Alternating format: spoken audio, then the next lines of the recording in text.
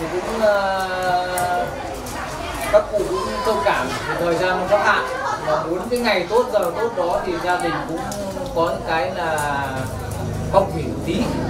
Thì uh, mong các cụ tôi uh, có một cái uh, lễ để mà xin phép các cụ công ông các bà cho họ nhà chúng tôi được uh, đón trong trang để làm tôi con người nghèo bỏ lòng thì uh, các cụ uh, nhận rồi tôi ờ, xin ờ, thay mặt cho gia đình xin ờ, cảm ơn uh, cha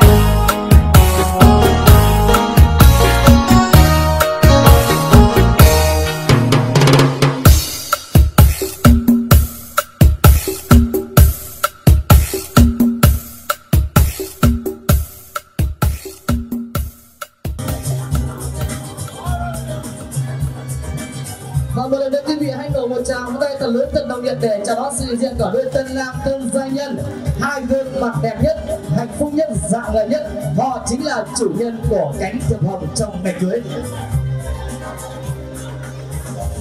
Kính thưa toàn thể quý vị thân mến, một trong những nhân tố để quyết định nên sự thành công của lễ thành hôn, chúng ta không thể không nhắc tới sự hiện diện của hai bác trưởng đoàn hai bên gia đình.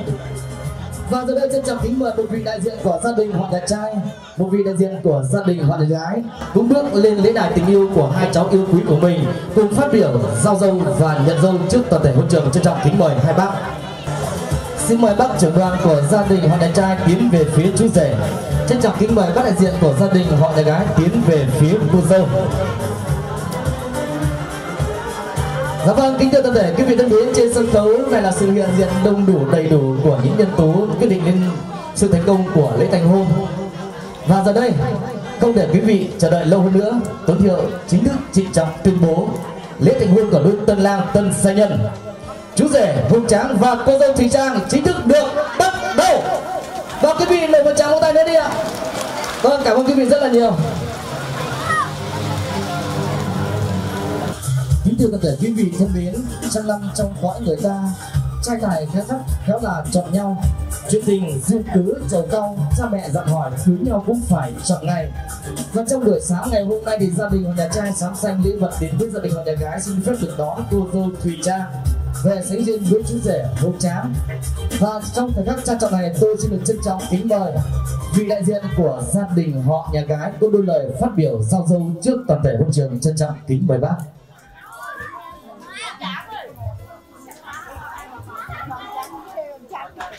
Kính thưa các cụ ông, cụ bà, kính thưa các bác, kính thưa hai họ.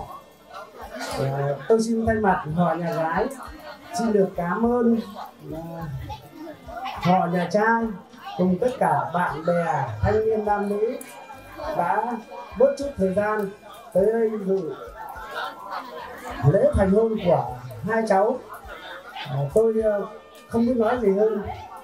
Chỉ à, xin à, có lời cảm ơn với họ nhà trai đã tiếp chúng tôi thành tình như thế này và cũng xin à, cảm ơn tất cả các bạn đã đến dự lễ thành hôn này. Xin hết Dạ vâng, à, xin cảm ơn lời phát biểu của vị đại diện gia đình Hoàng Đại gái rất là nhiều. Và kính thưa thân thể quý vị thân mến để đỡ lời thương cho bác trưởng đoàn của gia đình Hoàng Đại gái bác có căn dặn cháu mình rằng lúc ở nhà cháu còn là con cái khi đi chồng cháu đã làm dâu. Đến đây bác có đôi câu để căn dặn cháu về lâu về dài. Bên trên thôn dưới là ngoài Để không ai chê cháu là người chưa ngoan. Để đáp lại tình cảm đó thì bác nhà trai có nói rằng Nhà gái hân hoan mừng rể thảo, nhà trai vui vẻ đón dâu hiền. Và giờ đây trân trọng kính mời vị đại diện của gia đình và nhà trai có đôi lời phát biểu đáp từ trân trọng kính mời. Đầu tiên cho phép tôi gửi đến lời chúc sức khỏe tất cả đôi bên ba họ là lời chúc sức khỏe chân thành nhất. Kính thưa các cụ ông các cụ bà hôm nay là ngày lành tháng tốt. Ông uh, mỏng lập anh tôi sinh hạ được cháu ờ, uh, chán và bên ông uh, trung hà sinh hạ được cháu trang. Các cháu đã bén duyên và tìm hiểu nhau kỹ lưỡng được sự nhất trí của gia đình. Hai gia đình đã nhất trí thống nhất đến ngày hôm nay để tiến tới hôn nhân cho các cháu thì được sự quan tâm của chính quyền địa phương cũng như hai họ đã thống nhất mà đến giờ phút này cũng là thành công tốt đẹp. Gia đình chúng tôi có mở tiệc để tiếp đón bên ờ, họ nhà gái cũng ờ, nhân cơ hội này chúng ta có giao lưu và cũng ờ, gặp gỡ để trao đổi thân mật hơn nữa. Thì mong đến giờ phút tới tiếp đây thì mời coi như là đại toàn bộ các ờ, ông, các bà và cô dì chú bác ở bên nhà gái. Chúng ta coi như là dự tiệc cùng với ờ, gia đình bên nhà gia chúng tôi. Xin hết. Dạ vâng ờ, xin trân trọng cảm ơn rất là nhiều. Vâng đây trân trọng kính mời hai bác bước lên bước cùng bắt chặt tay nhau để kết chặt tình cùng ra và sau giây phút này trân trọng kính mời vị đại diện của trưởng đoàn gia đình và nhà trai đưa lên tân lao, tân gia nhân tiến vào phía bên trong tư gia của gia đình cùng thật bé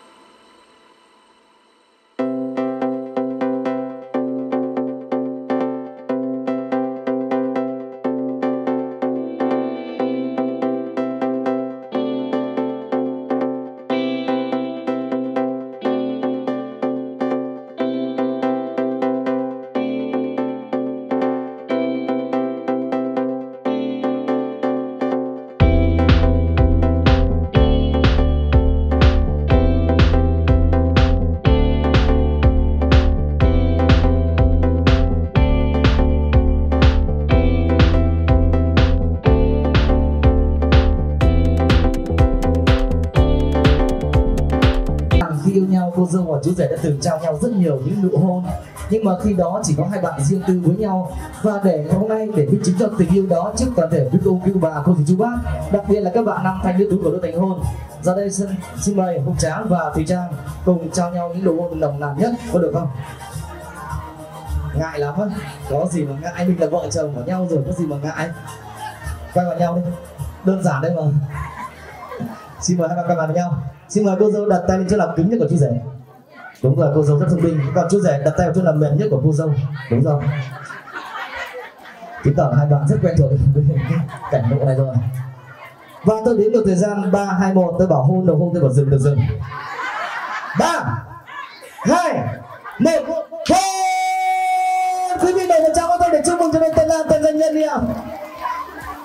Rồi, cảm ơn hai bạn rất là nhiều.